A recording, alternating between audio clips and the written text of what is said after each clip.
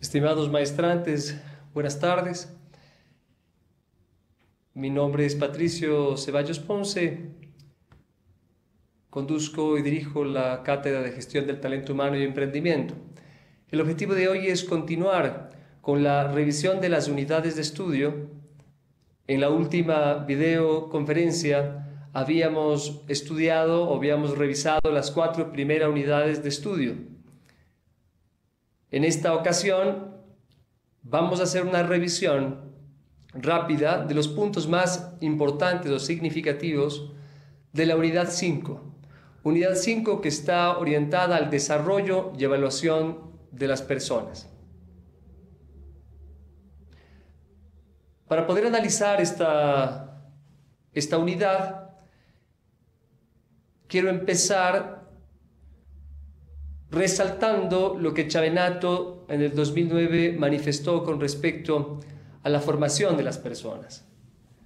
En la administración del talento humano, la formación de las personas es una de las actividades de mayor impacto para elevar la productividad y el desarrollo organizacional. Los procesos de formación del talento humano mejoran las aptitudes y actitudes de las personas a partir del aprendizaje que influye en las formas de pensar, sentir y actuar, así como en las creencias, valores y objetivos personales. Un objetivo fundamental dentro del aprendizaje de esta unidad es que ustedes comprendan que cualquier tipo de actividad relacionada o vinculada con formación es la mejor inversión que se puede hacer al interior de una organización o de una institución educativa. En, una institución educativa, al tener un grupo de personas, un grupo de colaboradores intelectualmente competentes, se hace mucho más significativa esta acción de gestión del talento humano. Elevar la productividad y el desarrollo organizacional es fundamental y para ello establecer programas de formación adecuados basados en un diagnóstico técnico, preciso a las necesidades de la organización es fundamental también.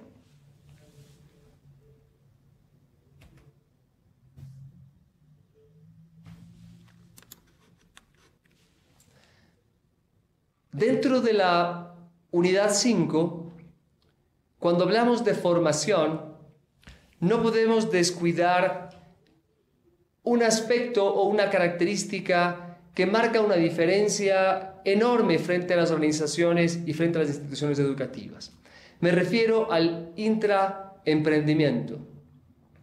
Intraemprendimiento, que es la actitud que tienen algunas personas para perseverar y para alcanzar las metas que se proponen.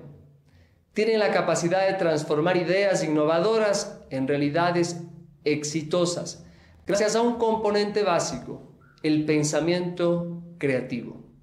Este es el insumo, esta es la característica fundamental y que he resaltado en el estudio de gestión del talento humano, pues en una institución educativa cobra una importancia muy representativa cuando a partir de este pensamiento se pueden desarrollar capacidades enormes en la gente y en los e influye muy positivamente en los objetivos que se quieren alcanzar.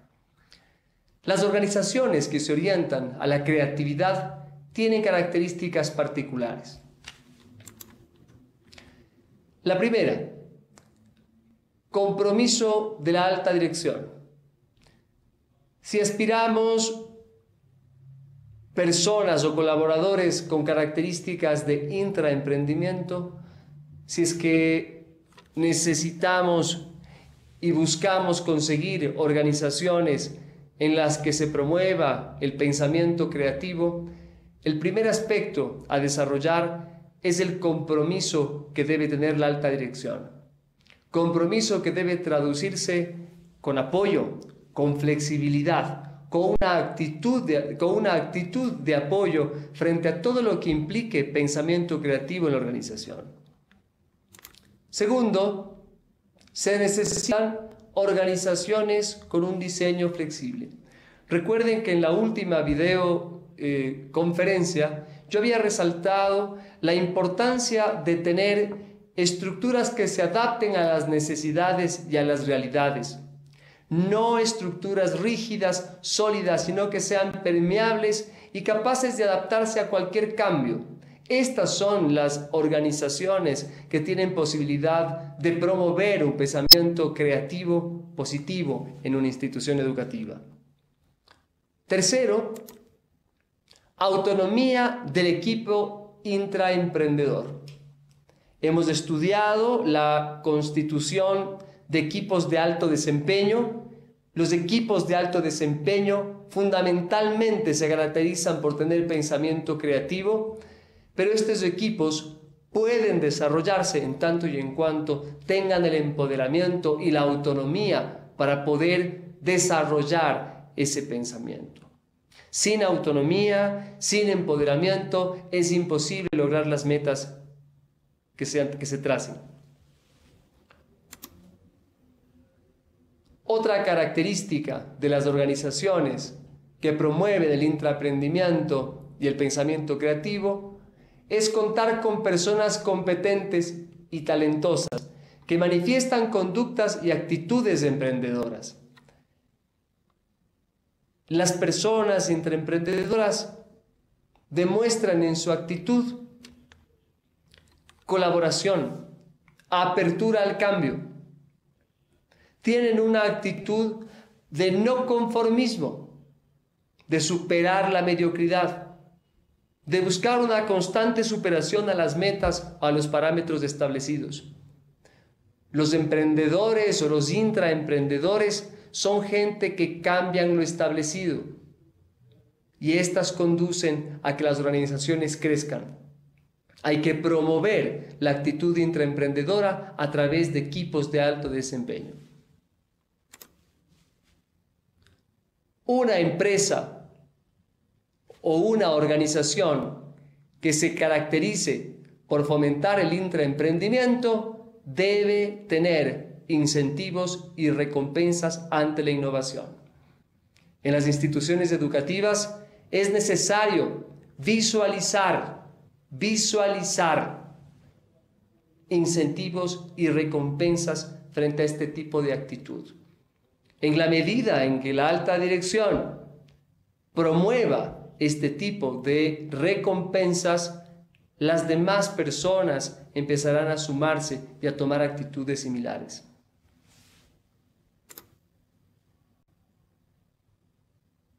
Por último, otra característica fundamental de las empresas u organizaciones o instituciones educativas intraemprendedoras o que promueven el emprendimiento interno es que tienen sistemas de control bien diseñados, no burocráticos. El control está vinculado a la retroalimentación y no a la desconfianza. El control está orientado a retroalimentar para poder mejorar, a dar información para subir estándares, para tener otros parámetros y para poder definir planes de mejora.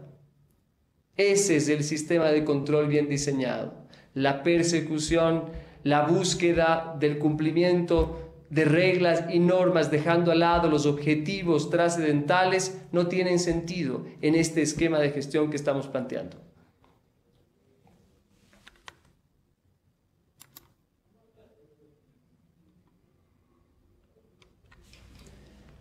Así como la formación es fundamental dentro del estudio de la gestión del talento humano, el otro elemento que tiene vital importancia para la gestión del talento humano y para la consecución de los objetivos institucionales es la evaluación. La evaluación de las personas debe establecerse como una filosofía de perfeccionamiento debe dejarse de lado esa idea o esa concepción de ligar a la evaluación con el control, pero con un control que esté simplemente relacionado al cumplimiento de reglas. No, hay que dejar de lado esa concepción. Hay que promover la evaluación como filosofía del mejorar, como una filosofía del perfeccionamiento constante. Hay que evitar el miedo o desarrollar una cultura de temor frente a la evaluación y la única manera de ir consiguiendo eso es cambiando la mentalidad de la gente a través de promover una filosofía de evaluación sana.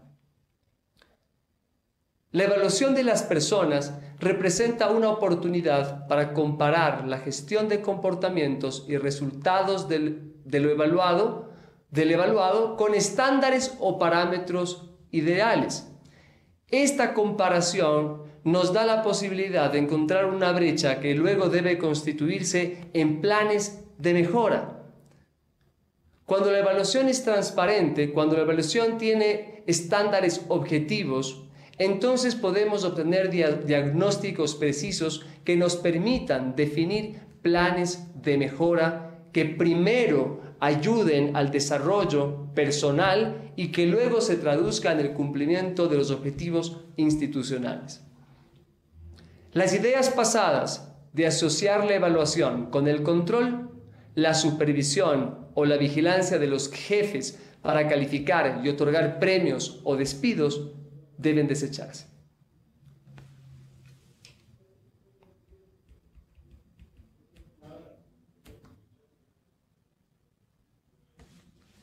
En la evaluación del desempeño docente o directivo se presentan muchas alternativas. Hay varias modalidades para la evaluación del desempeño docente o directivo.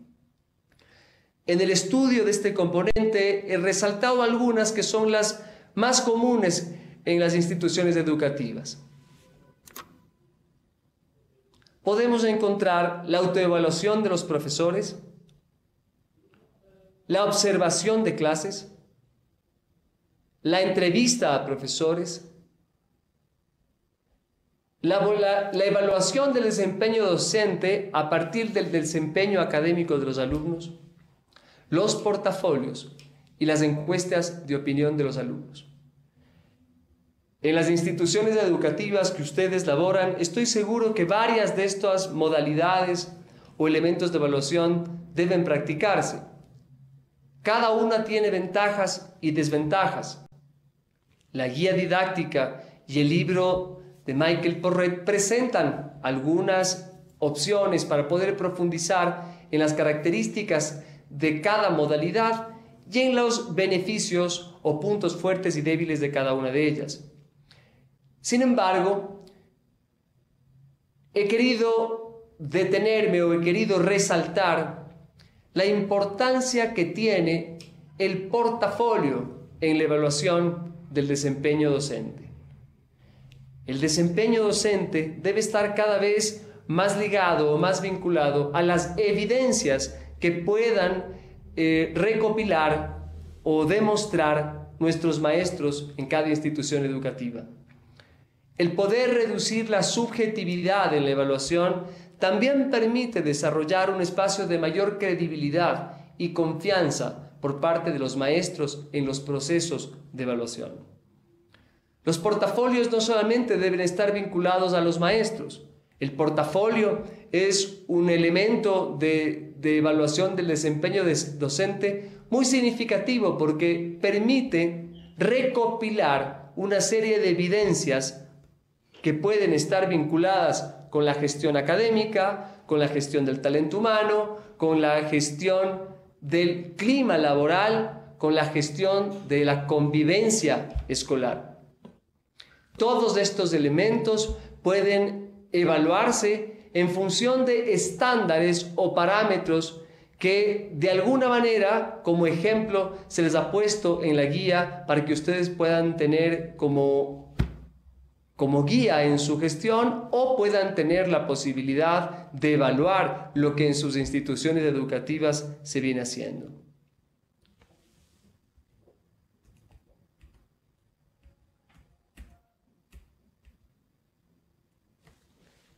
Pero ¿qué es esto de definir estándares del desempeño docente? ¿Por qué son importantes los estándares para hacer una evaluación? Un estándar debe cumplir con ciertas características, entre las cuales se destacan el ser objetivos básicos comunes a lograr. Si los profesores, si los maestros tienen claridad frente a los objetivos comunes o a las expectativas que se tiene, que, tiene la institución para con ellos, entonces la evaluación tendrá la posibilidad de ser mucho más objetiva y los maestros también podrán entender con facilidad el porqué de tal o cual resultado en un proceso de evaluación.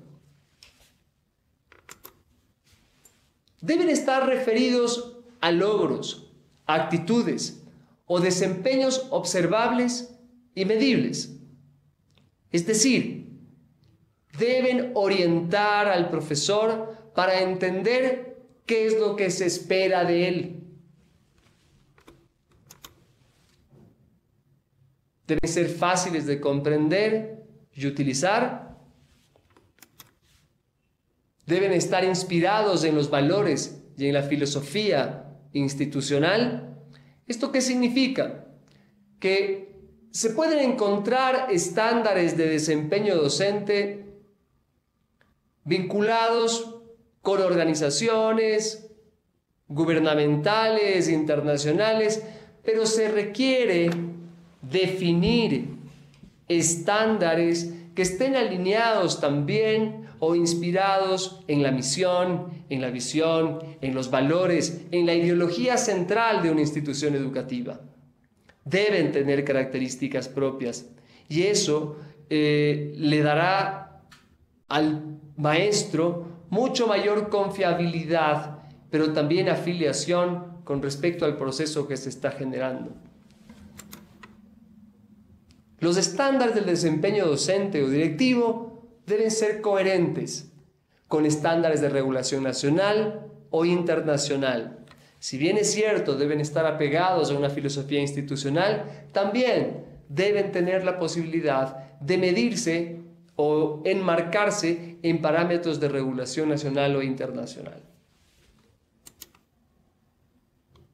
Por último, cuando uno defina estándares de desempeño, debe presentar un desafío un desafío para mejorar, un desafío para esforzarse, para capacitarse, para hacer algo más, para salir de un punto de confort, pero también deben ser pensados de forma en, la que, en la que todos los profesores puedan alcanzarlos.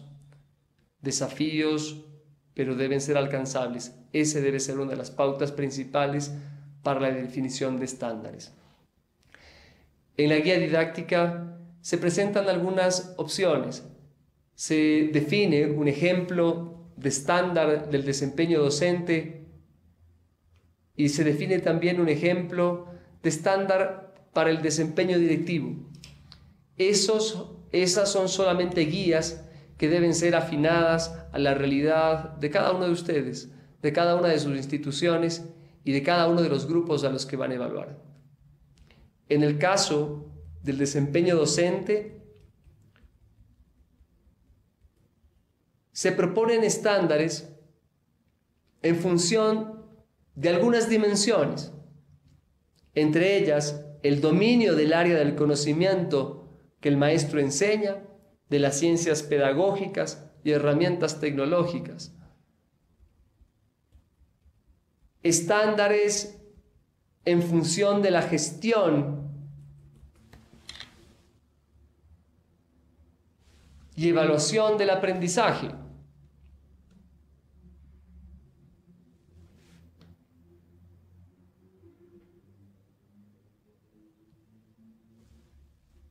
Estándares en función del desarrollo profesional personal y colaborativo.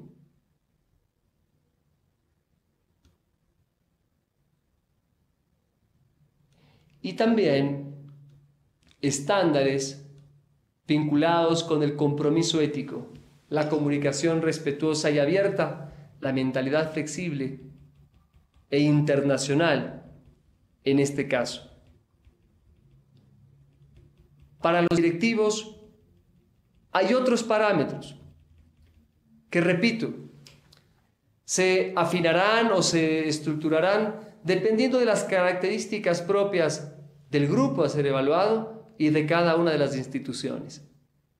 En síntesis, lo que se propone en esta unidad es que ustedes puedan tener alternativas de evaluación mucho más objetivas, en función de parámetros que deben estar establecidos inclusive en consenso.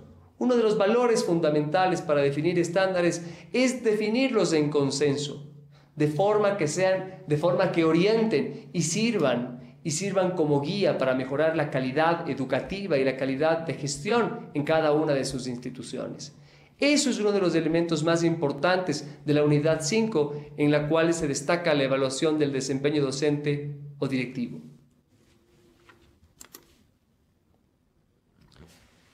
Con esto yo quiero eh, pasar a darles unas orientaciones con respecto a las expectativas que se tienen frente a la evaluación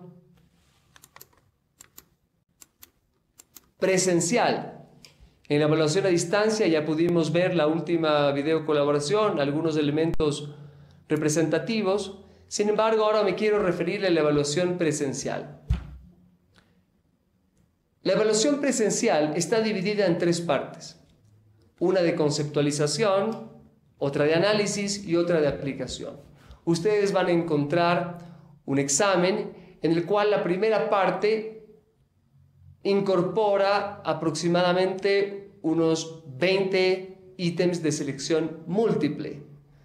Estos ítems eh, están vinculados con el trabajo de evaluación a distancia que ustedes ya deben estarlo resolviendo y que próximamente nos enviarán.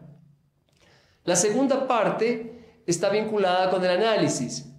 Encontrarán cuatro casos similares a los de la evaluación a distancia, en donde ustedes eh, podrán, pondrán en juego sus conocimientos, pero también sus habilidades y su pensamiento creativo en particular. Esa parte del examen también tendrá una valoración de 20 puntos. Por último, la tercera parte de la evaluación presencial será de aplicación, Habrán cuatro preguntas que eh, estarán, eh, o tendrán la intención de evidenciar ensayos breves y de contexto, también con una valoración de 20 puntos. El examen en total será valorado en 60 puntos. Sugerencias importantes para que ustedes tomen en cuenta.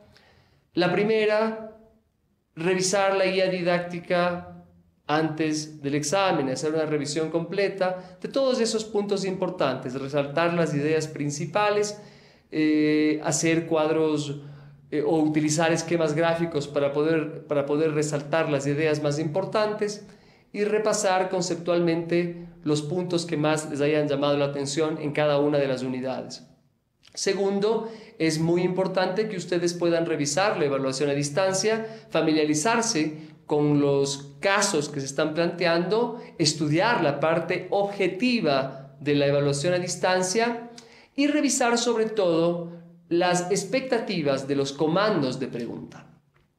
Una sugerencia fundamental es que ustedes respondan las preguntas del examen a partir de los comandos de pregunta. No es lo mismo analizar que reflexionar, no es lo mismo definir que describir, etc hay elementos que ustedes tienen en la evaluación a distancia que les va a ayudar como guía y que aportarán significativamente en la evaluación presencial. Con esto, estimados estudiantes, yo espero que, la, que el aporte, que la, que la, gestión del talento humano y emprendimiento eh, estudiado signifique eh, muy representativamente una mejora en su gestión personal y en su liderazgo, en su aspiración a ser un gerente exitoso. Espero también que cualquier inquietud que tengan me la puedan hacer llegar. Revisen por favor en el EVA todas las sugerencias que se les está haciendo y coméntenme en cualquier novedad. Muchas gracias por su atención. Espero que eh, esto haya sido positivo y que el examen presencial sea igual de exitoso.